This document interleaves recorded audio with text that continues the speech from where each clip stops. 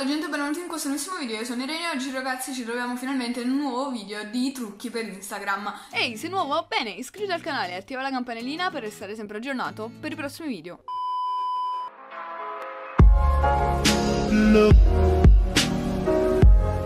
Seguimi su Instagram per restare sempre aggiornato. Negli scorsi due video avete fatto davvero tantissime domande per quanto riguarda Instagram, avete lasciato davvero tantissimi mi piace e quindi dato che è una serie che vi piace ho deciso di portarvi un nuovo video su alcuni trucchetti che ho scoperto anch'io per quanto riguarda Instagram e le storie. Quindi vi mostrerò oggi 5 trucchetti per rendere più uniche le vostre storie di Instagram. Perciò direi di non perderci ancora in chiacchiere e di partire subito con il video, però prima di iniziare ovviamente vi ricordo di seguirmi su Instagram e soprattutto di lasciare un mi piace a questo video per arrivare almeno a 100 mi piace per un prossimo episodio.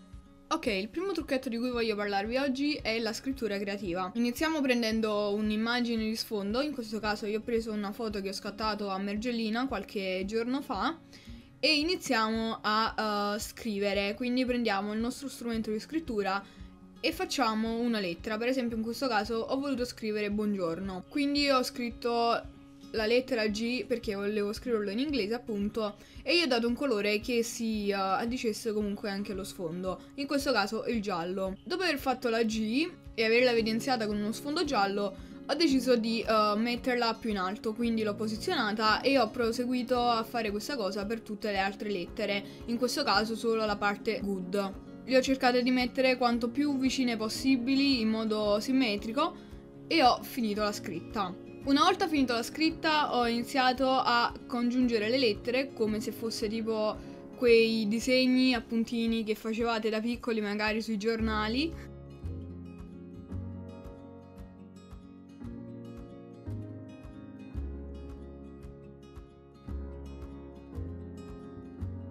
e successivamente dopo aver fatto ciò ho anche uh, scritto morning sotto usando semplicemente lo strumento per scrivere appunto sulle immagini devo dire che il risultato ottenuto mi piace abbastanza ovviamente io l'ho fatto in modo molto frettoloso ma se ci perdete un po' di tempo verrà anche meglio e quindi uh, l'ho usato anche in alcune delle mie storie. Tra l'altro, se non mi seguite su Instagram, seguitemi se volete vedere appunto delle storie particolari. Il secondo trucco invece lo chiamo bordi e secondo me è un trucco davvero molto utile se fate delle foto e uh, non rientrano appunto in verticale, quindi se avete scattato delle foto in orizzontale però volete comunque caricarle sulle storie in modo molto carino.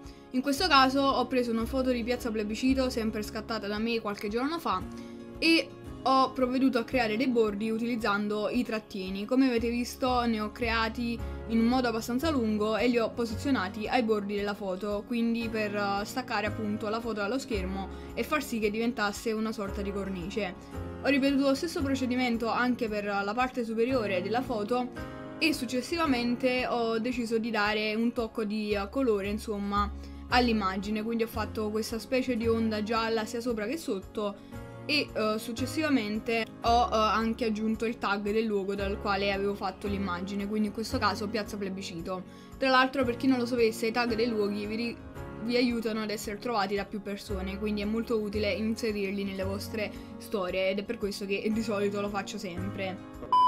Il terzo trucco invece si chiama disegno creativo, in questo caso ho preso sempre un'immagine scattata da me nello stesso giorno in cui avevo scattato la prima e uh, rappresenta appunto il Vesuvio e ho deciso che uh, sarebbe stato carino disegnarci sopra quindi ho cercato di fare delle fiamme che uscissero appunto dal cratere del vulcano. Il risultato ovviamente non è dei migliori perché è stato fatto in modo molto veloce proprio per questo tutorial, però se ci perdete tempo secondo me può venire fuori davvero un lavoro molto carino.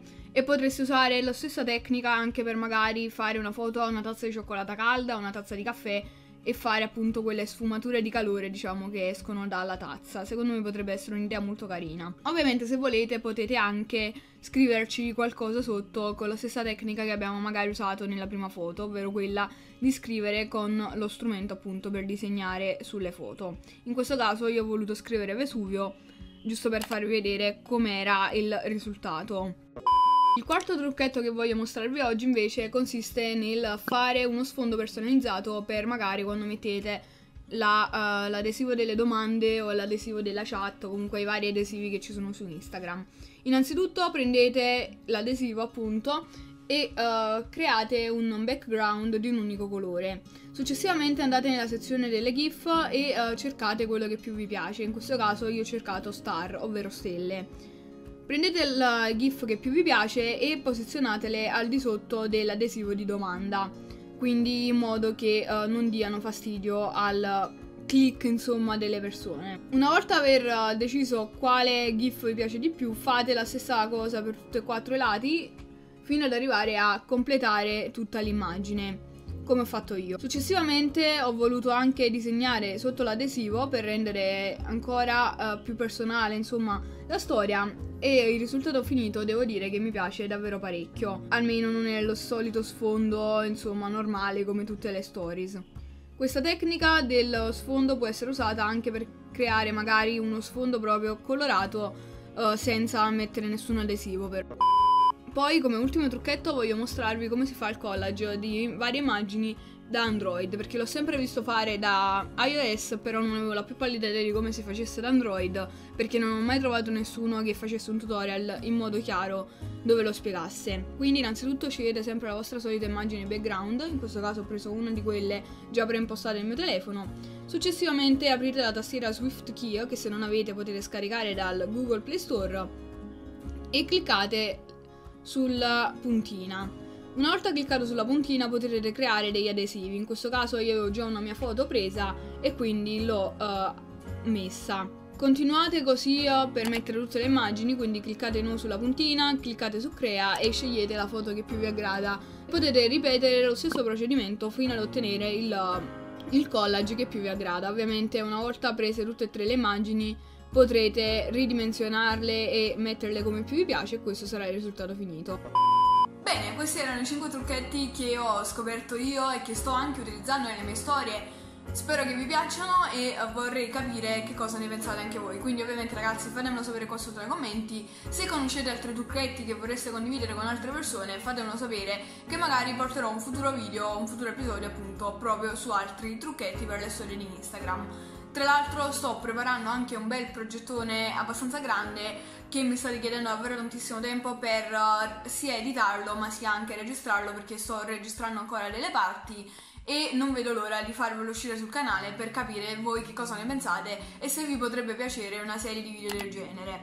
Quindi ragazzi, niente, io vi ringrazio per aver visto anche questo video delle storie di Instagram, vi ricordo come al solito di seguirmi sempre su Instagram trovate anche il nome sotto nella descrizione. E niente, noi ci vediamo prossimamente con prossimi video, sempre qua sul canale. Bella!